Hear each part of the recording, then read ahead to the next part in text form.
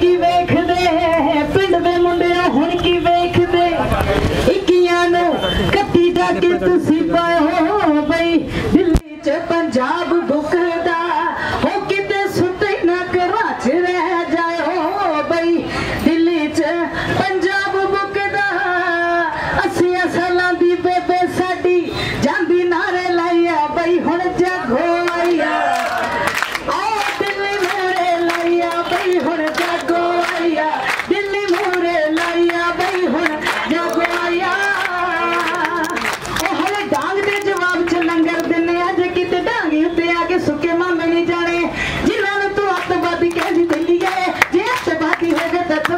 ਕਰੀ ਜਾਵੇ ਜਿਨ੍ਹਾਂ ਨੂੰ ਤੂੰ ਅੱਤਵਾਦੀ ਕਹਿੰਦੀ ਦਿੱਲੀ ਹੈ ਜੇ ਅੱਤਵਾਦੀ ਹੋ ਗਏ ਤਾਂ ਸਾਂਭਣੀ ਜਾਵੇ।